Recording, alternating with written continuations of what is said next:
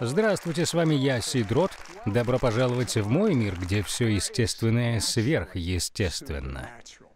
Мой сегодняшний гость умер, побывал на небесах, но по множеству причин его отправили назад. Одна из основных причин заключалась в том, что он должен был явить миру тайны ангелов. Вы знали, что ваше будущее уже предначертано? Есть книги, в которых написано, что именно вы должны сделать. А задача ангелов — шаг за шагом помогать вам исполнять вашу судьбу. Но большинство верующих не знают, как связаться с этими ангелами. Вы хотите научиться это делать? Существует ли сверхъестественное измерение? Мир за пределами того, что мы знаем. Можем ли мы прикоснуться к древним тайнам сверхъестественного? Могут ли наши сны содержать какие-то послания с небес?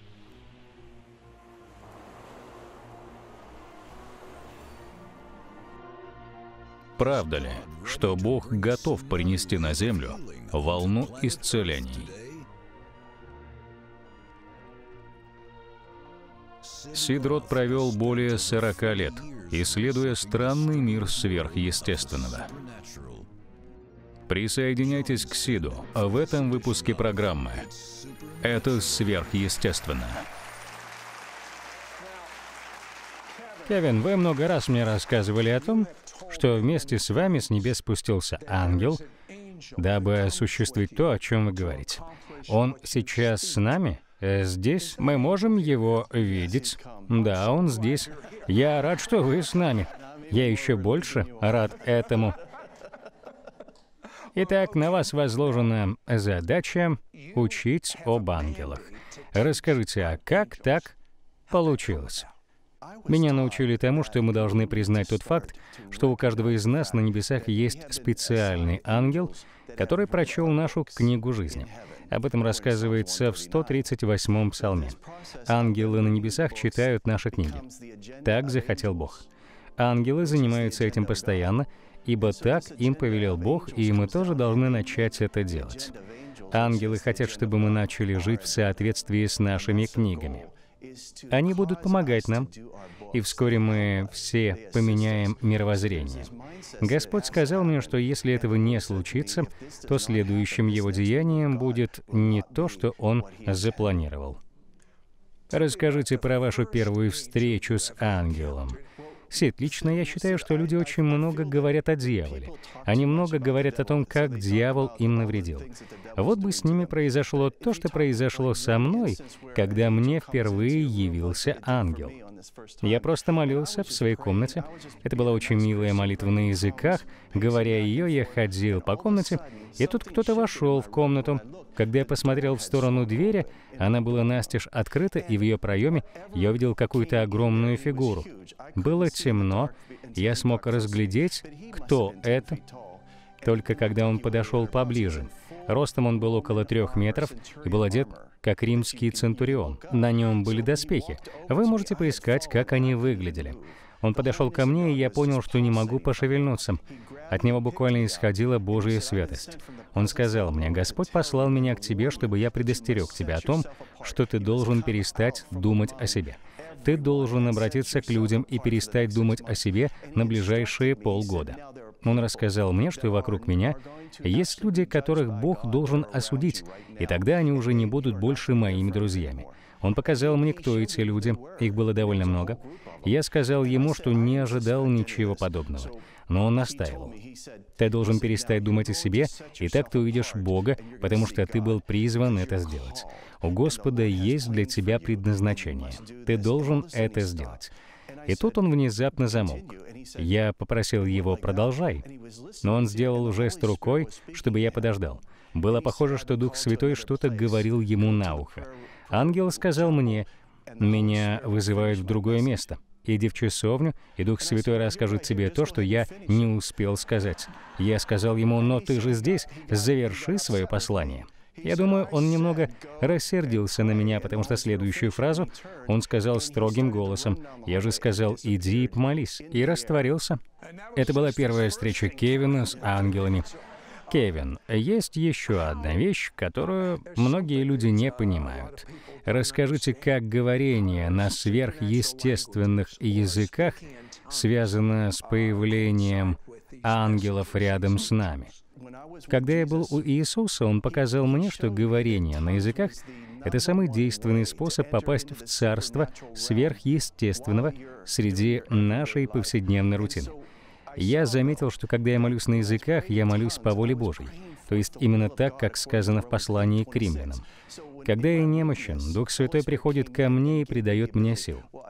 Я заметил, что ангелы понимают меня, когда я говорю на языках, ведь то, что я говорю, это слова Бога. Бог посылает им те же слова, чтобы они мне помогали. Эти слова касаются и их.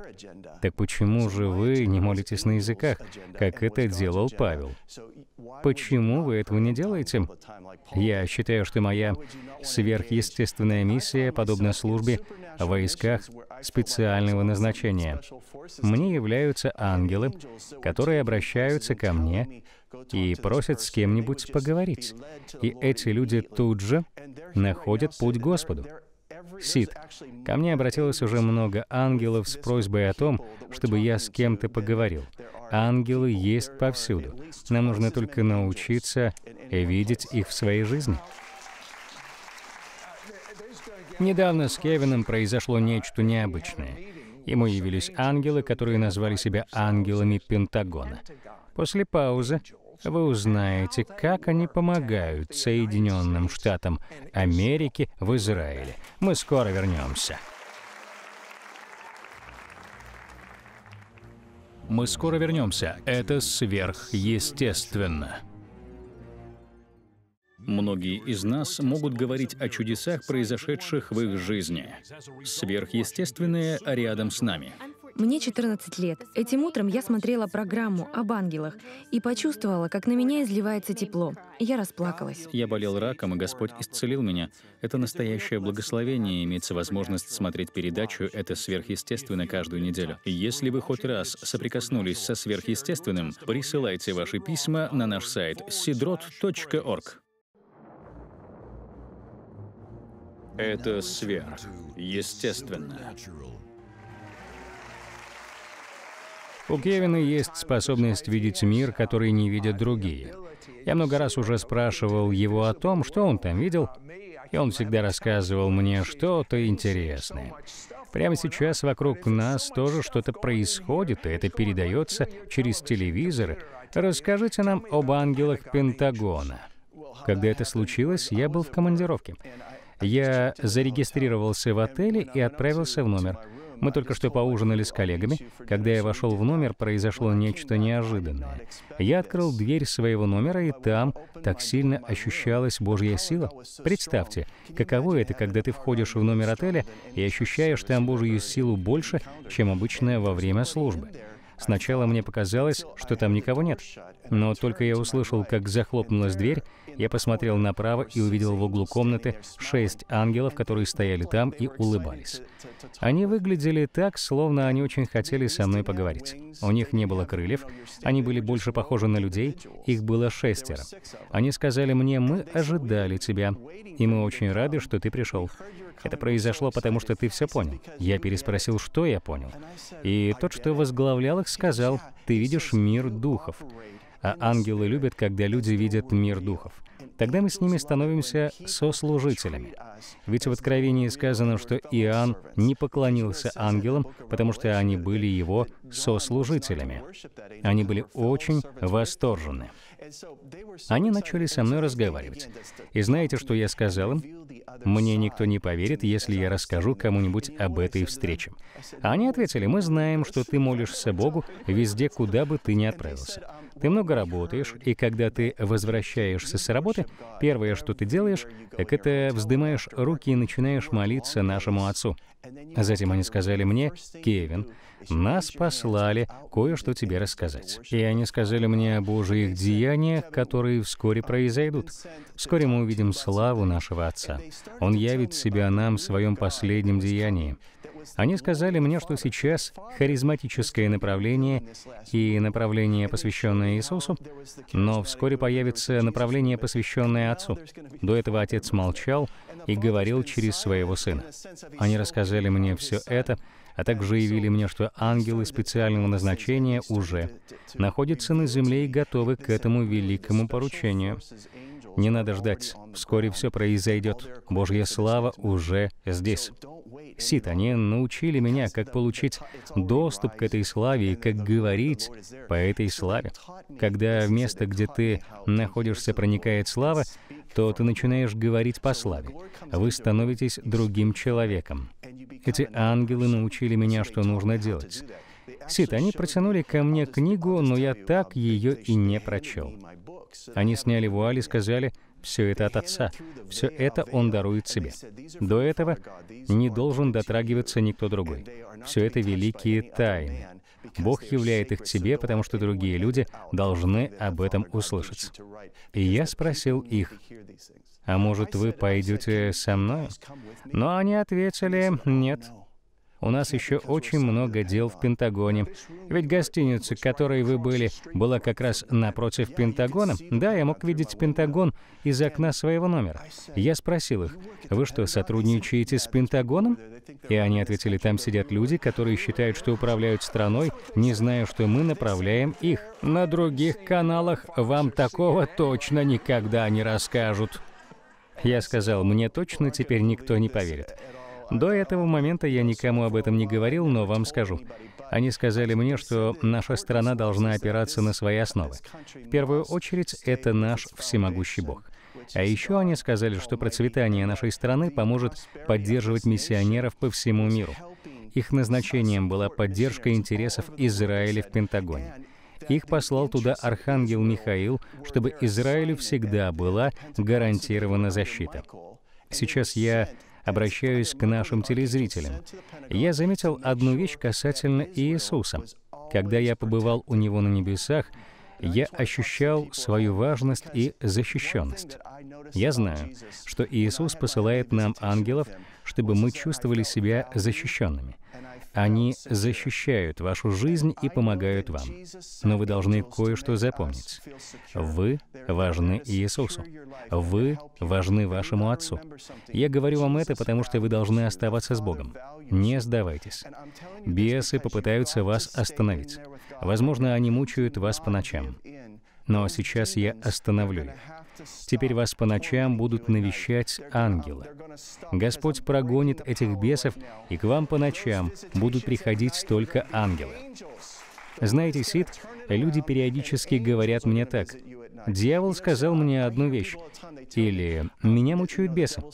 Мне почти никто не говорит. Ко мне пришел мой ангел и сказал, что у меня все хорошо. Сегодня у меня есть для вас сюрприз. Возможно, вы подумаете, что я чудак, но послушайте истории в церкви. Люди минут по 15 рассказывают, как им досаждает дьявол. Мне кажется, церкви нужно обратиться к телу Христову, ведь Мессия принес нам спасение. Ангелы приходят к нам, чтобы нас спасти. Дух Святой, живущий внутри нас, — это наш Избавитель. Пришла пора говорить о том, что делают ангелы. Они делают то, что велел им делать Бог. Я хотел бы кое-что добавить. Кевин любит узнавать новое, и недавно он узнал нечто новое о горе Синай. Насколько я знаю, он еще не делился этим знанием перед большой аудиторией. Мы поговорим об этом после паузы. Мы скоро вернемся. Это сверхъестественно. Этот мир уже давно спорит о том, что разделяет нас. День за днем мы живем, имея свою устоявшуюся точку зрения. Но Писание говорит нам о том, что Мессия разрушил преграду, разделяющую еврея и язычника, вместе с тем создав одного нового человека. Эта духовная целостность побуждает делать такие огромные шаги в сторону Бога, каких мир еще не видел. Сидрот нашел ключ к достижению еврейского народа Божьей любовью. Новое человечество откроет доступ Богу, чтобы двигаться в чудесах и знамениях. И тогда все убедятся в факте существования невидимого Бога, о котором говорится в Писании.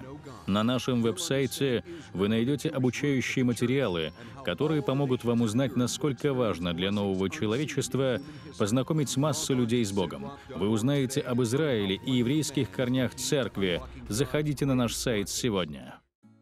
У Божьего сверхъестественного нет границ. Теперь нет границ и у вашей возможности получить свой прорыв когда угодно и где угодно — ASN — онлайн-сеть — это сверхъестественно. Теперь доступна для ваших мобильных устройств и смарт-телевизоров. Люди с восторгом смотрят наши программы о чудесах. Теперь и вы тоже сможете пережить такое же прикосновение от Бога. Присоединяйтесь к нам. ASN — это записи наших программ 24 часа в сутки, 7 дней в неделю на вашем мобильном устройстве и смарт-телевизоре. Смотрите наши спецвыпуски с всемирно известными учителями. Выбирайте из десятка впечатляющих эпизодов. Загрузите приложение бесплатно. Расписание передач по телевизору рассчитано на наших родителей. С приложением ASN я смотрю их по своему расписанию. Приготовьтесь получить свой прорыв, свое исцеление и свое чудо. Загрузите приложение ASN сегодня.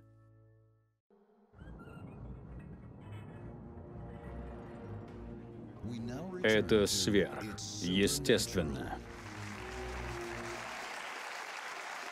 Кевин, вы побывали на небесах, в месте, которое вы про себя назвали главным небесным командованием. Что вы там увидели? Меня удивило, что небеса — это действительно царство. Мы знаем, что там находится Божье царство, но я не знал, что у него есть свое войско. Там есть специальное военное управление со своим зданием. У небесного войска есть свое командование, и Иисус руководит всеми ангелами, ведь Он Господь воинства. Все ангелы подчиняются Ему. У них есть свои звания. Существует много типов ангелов, больше, чем мы знаем. Они спрашивают у Иисуса совета по поводу того, что сказано в книгах. У них есть книги, которые написал Бог. На этих книгах написаны людские имена. Господь записал в них судьбу этих людей еще до их рождения. Он расписал в этих книгах каждый их день. Все дело заключается в том, что мы должны об этом знать, потому что если мы не будем слушаться Бога или даже восстанем против Него, то ангелам будет трудно вернуть нас на путь истины. Духу Святому и Иисусу приходится в таких случаях искать новые пути. Они являются людям. Или, например, они говорят ангелам, «Устройте так, чтобы они поговорили в автобусе с этим человеком». Если вы не слушаетесь Бога, то каждый год вы будете ощущать одно и то же. Каждый год ангелы будут говорить вам одно и то же, все будет идти по кругу. Так было решено в командовании. Они определяют, на кого им повлиять. Послушайте, это касается всего нашего поколения. Во всем, что делает Бог, Он думает о наших семьях. Причем не только о нашем поколении, но и о следующих. В книгах сказано, что предыдущие поколения молились, и мы должны это почитать. Это очень важно. А сейчас я хочу, чтобы вы рассказали о вашем откровении на горе Синай, о котором вы еще не говорили. Я не знаю, с чего именно это началось. Помню только, как я начал писать книгу совсем другим названием. Я сидел за своим столом и писал ее, и тут в моем кабинете стала очень сильно ощущаться Божья сила. Внезапно я понял, что я уже не сижу на своем стуле, а куда-то быстро перемещаюсь. Кевин, когда мы начали сейчас говорить об этом, Бог в нашей студии стал ощущаться все сильнее, и все это благодаря вашим словам, Продолжайте. Я попал в какое-то другое место. Честно говоря, я так и не понял, почему это произошло. Возможно, это объяснит кто-то из наших зрителей. Я обычный христианин, не претендую ни на какой титул у тела Христова. Будучи обычным христианином, я молюсь на языках. Я не ощущаю ничего необычного. Я просто молюсь, как все. Я писал в этой книге о том, что сказал мне Бог, и тут я понял, что нахожусь на вершине горы. Я был очень высоко. На вершине той горы было много ангелов. А в центре я увидел человека, который с кем-то разговаривал со славой в голосе. Я не видел, с кем он говорил, но я верю, что он говорил с Богом. А человеком этим был Моисей. Я не знал, что мне делать, поэтому я посмотрел вниз. Сначала мне показалось, что под моими ногами снег, но это были серые камешки. Я пнул ногой один из этих камешков, я думал, что это снег, но он повел себя не как снег. От того, с кем разговаривал Моисей, исходило белое свечение. Я уверен, что это был всемогущий Бог. Там ощущалась такая святость. Я просто оцепенел от блаженства. Ощущал себя там как дома. Я ощущал чистоту. В Библии сказано, что страх Господень чист. А еще там сказано, что страх Господень — это начало мудрости. В тот момент я начал ощущать, о чем я должен написать в своей книге, которую я озаглавил «Дела ангелов». И тут я увидел, что ко мне направляются четыре ангела, и один из них сказал, «Возвращайся и расскажи людям, чтобы они не злили своих ангелов». Я ответил ему, «Я уже говорил им об этом». Но он сказал мне этого мало. И он обратил мой разум к 23 главе Исхода, где сказано, что ангелы были посланы сынам Израилевым, потому что Бог не мог быть с ними из-за их утверждения в своем неверии. Те ангелы могли наказать их за их неверие. Бог сказал людям, «Не провоцируйте этих ангелов, потому что они не потерпят ваших грехов». Ангелы, подошедшие ко мне, сказали, «Это происходит и сейчас, Кевин. Ты должен вернуться назад». Ангелы были посланы помогать людям. Это очень важный шаг, потому что скоро наступит жатва. И тут я снова оказался у себя в кабинете. Там очень сильно ощущался Бог. Я переживал любовь Отца и понял, что это поколение очень важно для Бога. Мне явилось, что пришла пора что-то делать. Каждого из нас может посетить Бог сверхъестественное может вмешаться в жизнь любого человека, хочет он того или нет. И я хочу сказать вам вот что. Я ощущаю, что Божьи дети, которые всегда шли рядом с Богом, не должны упустить этого шанса. Не надо ждать. Не надо провоцировать ангелов своим неверием. О каком именно шансе вы сейчас говорили? На небесах есть река жизни. Я видел ее, когда был там. Это очень прекрасная река. Я знал, что если я сделаю из нее хоть один глоток, я буду жить несколько тысяч лет. Мне очень хотелось испить из нее, но мне не удалось этого сделать, потому что меня отправили на землю. Но дело в том, что эта река течет и в нас. Иисус сказал, что эта река течет и в нас и несет нам вечную жизнь. Я желаю вам сказать, что ангелы так и ждут, когда мы поймем, что сделал для нас Мессия Иисус. Нам нужно идти вперед к алтарю, а также обернуться ко кресту. Мы должны вновь обернуть наши взоры Господу Богу и позволить ангелам делать их работу. Обратите внимание на то, что сказал Кевин. Пришла пора новых начинаний. Я так и слышу, как вы говорите, «Вам лучше знать». Вы говорите, вам лучше знать, но сейчас пришла пора запретить плоти управлять вашей жизнью. Пришла пора позволить это делать Богу. Кевин, я хочу, чтобы вы сейчас посмотрели прямо в камеру и помолились о том, чтобы наши зрители посвятили себя Богу. Откройте ваши сердца прямо сейчас и скажите, «Отец, я благодарю Тебя». Скажите, «Отец, я благодарю Тебя». Я передаю свою волю Тебе. Скажи ангелам на небесах, пусть они достанут мою книгу. Пусть они поработают над ней. Я покоряюсь Твоей воле. Я передаю свою жизнь Мессии Иисусу. Все, что я дарю Тебе, ничто без святости, ничто без нее. Я приношу себя в жертву во имя Мессии Иисуса. Аминь.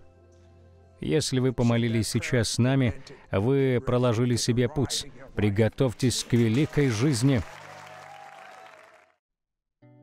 Иногда кажется, что за всей ежедневной рутиной жизнь проходит мимо. Вы просыпаетесь, принимаете душ, одеваетесь, заботитесь о других, проверяете, есть ли у них все, что нужно на день. И вы едете на работу, трудитесь 8, 9 или 10 часов, едете домой, готовите ужин, смотрите телевизор, ложитесь спать. Одно и то же день за днем, месяц за месяцем, год за годом. Вы думаете, неужели это все?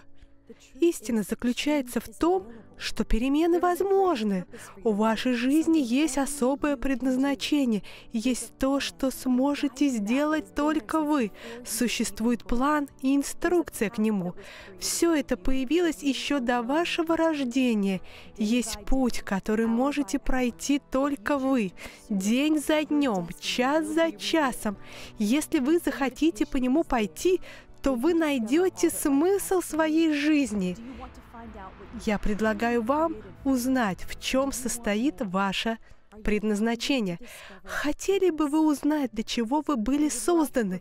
Хотите вы большего? Изголодались ли вы по мечтам? Мы предлагаем вам прочитать книгу, которая укажет вам путь. Скачайте книгу, а не думали сами. Смотрите в следующем выпуске. Здравствуйте, меня зовут доктор Сэнди Калкин. Я приглашаю вас посмотреть следующий выпуск программы «Это сверхъестественно», где я расскажу вам, что для вас пришла пора осуществлять ваше предназначение –